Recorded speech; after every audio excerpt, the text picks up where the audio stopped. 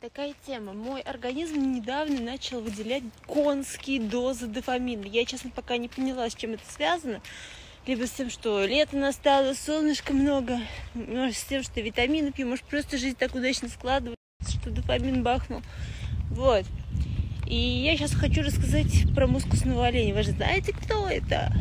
Короче, мускусный олень в брачный сезон сам начинает выделять мускус.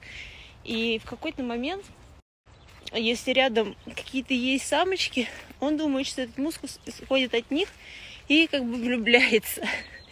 И вот со мной происходит примерно то же самое. Это сейчас самый, не знаю, наверное, неудачный период, когда я могу влюбиться буквально вот в каждого встречного, ну, более-менее адекватного, более-менее подходящего под мое представление о, том, что мне надо и что меня торкает. Вот такая. Кажется, вчера я наступила на это. Вот вопрос, а зачем это выкидывать в карьер? А еще мне написали, что я купаюсь в луже. Добро пожаловать в наши лужи. Господи, что там происходит? Так, сейчас будет зрелище не для слабонервных.